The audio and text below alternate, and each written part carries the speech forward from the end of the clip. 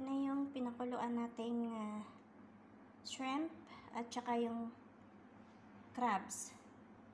Sunod naman yung tahong, seashells. Tama ba? Habang pinakulo natin yung ah, tahong at saka yung isusunod natin yung ah, mais natin. So, lagyan muna natin to ng mantika para naman ating i gisa yung ating sibuyas. Main ingredients natin. So, luto na ating ah, tahong. Alisin na natin siya.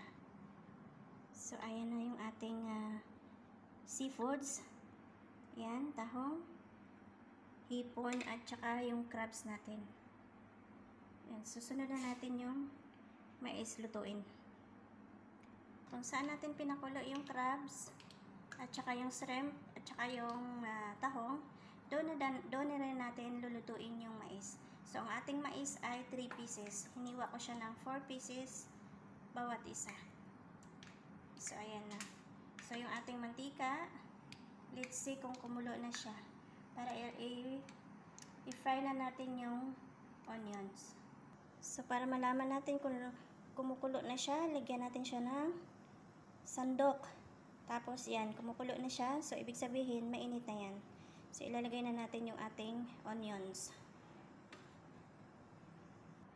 3 pieces onions, yung large size. Pag malili, eh, medium size lang naman, 6 na piraso.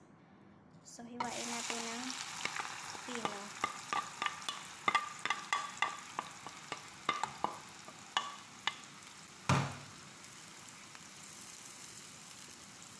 Huwag po nating sunugin kasi mapait po siya pag sunog. So, alalay lang po sa apoy hanggang sa mag-brown siya. Then, isusunod na po natin yung ating ah, onion, ah, bawang.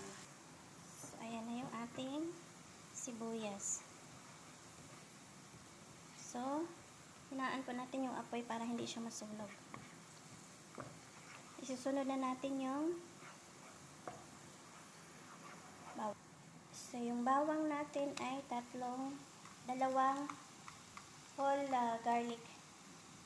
Dalawang bulbs na garlic.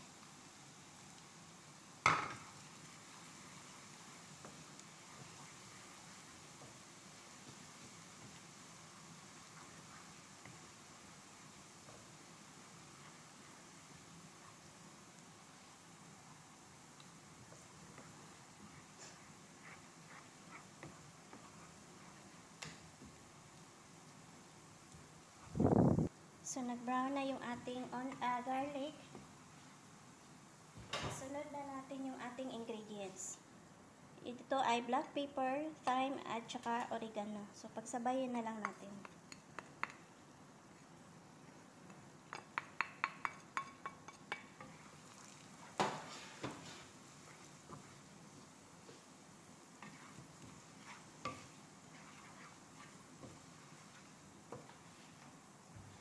And then, next natin yung ating onion powder at saka yung garlic powder.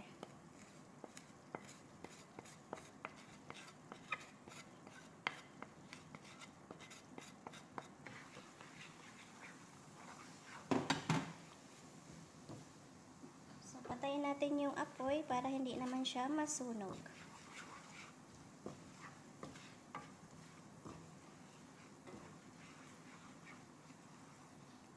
And then, isusunod natin yung ating salt. Half muna yung salt kasi 3 tablespoon to eh. So, half muna. I-check natin yung anong lasa. So, isunod natin yung ating sugar. 3 tablespoon. White sugar.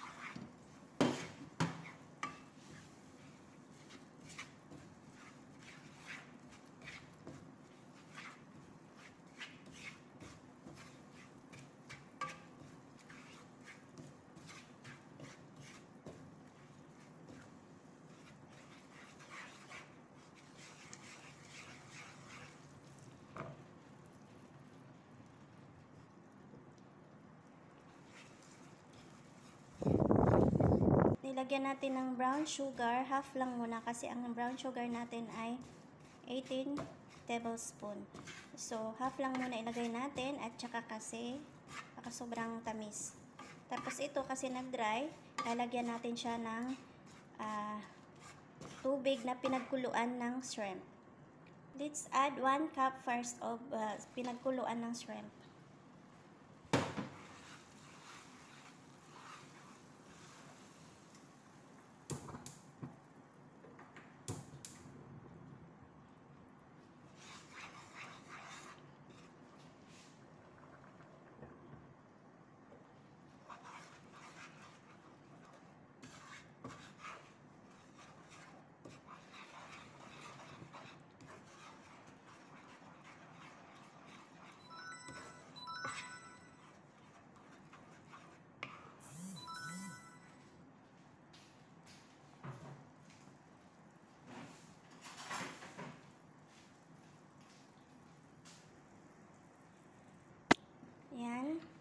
So, let's add again the brown sugar. Kasi yung tamis ay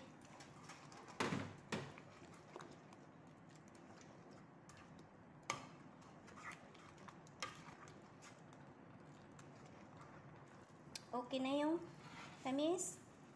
Let's add the paprika. So, ang ating paprika ay 3 tablespoon. Dagdagan na lang natin ng 2 teaspoon.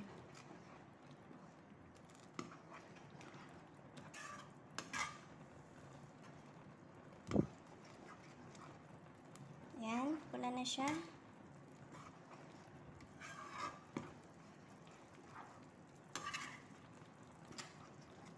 So, ubusin na lang natin yung ating sugar.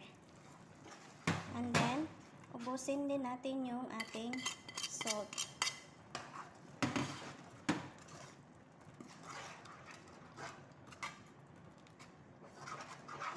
So, ayan na siya. So, let's add the butter. Pwedeng uh, unsalted butter. Pwedeng salted butter. So, this is 200 grams.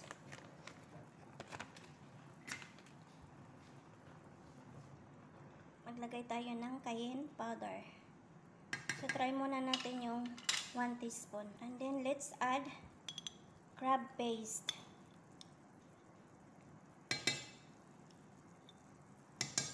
2 tablespoon, 2 teaspoon. So, ready, na ating sauce. I-separate natin yung oil sa ibabaw kasi lulutuin natin yung ating shrimp, crabs, tsaka yung ating tahong at tsaka yung ating mais. So, ito na yung sineparate nating ah, oil sa ibabaw at tsaka naman ito naman yung sauce. So, let's see.